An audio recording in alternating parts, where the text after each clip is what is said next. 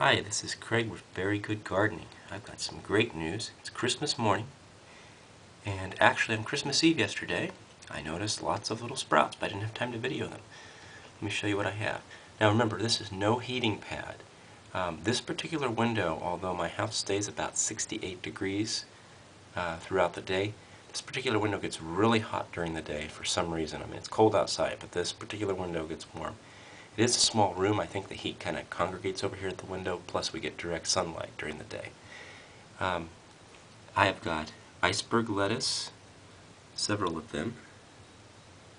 I've got um, a cucumber plant right there coming up. I've got another cucumber plant over here coming up. And then these are huge. And this is the set I just planted. Just, I think it's about three days ago I planted this set over here. And I've already got one iceberg coming up over here. And then I have um, three sugar daddy peas. This one's kind of hard to see. It's just barely coming up. That one, nice and green, and this one is just exploding, just pushing the dirt right up. Probably have its leaves open later today.